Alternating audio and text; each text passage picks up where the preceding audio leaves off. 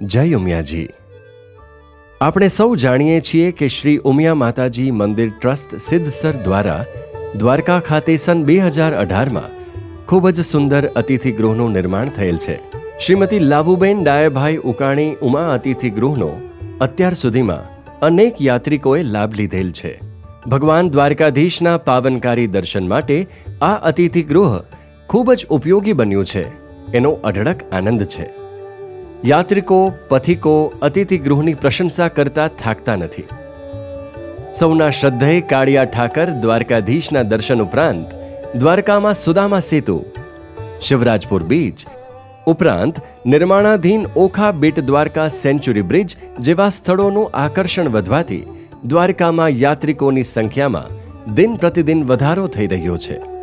આપણા સમાજના યાત્રિકો આપણા અતિથિ ગૃહમાં જ નિવાસનો આગ્રહ રાખે એ સ્વાભાવિક છે. યાત્રિકોનો અવિરત પ્રવાહ સતત વહેતો રહે છે.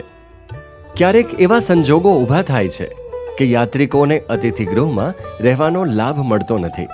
આ પરિસ્થિતિને ધ્યાનમાં લઈ સમાજ વિકાસ કાર્ય માટે કટિબદ્ધ ઉમિયાધામ સિદ્ધસર દ્વારા ખૂબ જ સુંદર અને મહત્વનો નિર્ણય લઈ દ્વારકા અતિથિ ગૃહમાં વધારાના નવા ત્રીસ રૂમનું નિર્માણ કરવાનો સંકલ્પ કરવામાં આવ્યો છે.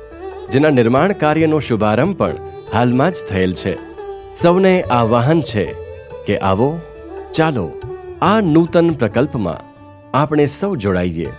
યથાશક્તિ અનુદાન આપી, આ ભવ્ય, દિવ્ય સંકલ્પને સાકાર કરીએ. શ્રીમદ ભગવદ્ ગીતામાં સ્વયં ભગવાન કૃષ્ણએ કહ્યું છે, પત્રમ પુષ્પમ ફલમ તોયમ, યો મે ભક્ત્યા પ્રયચ્છતિ, તદહમ ભક્ત્યુપહૃતમ.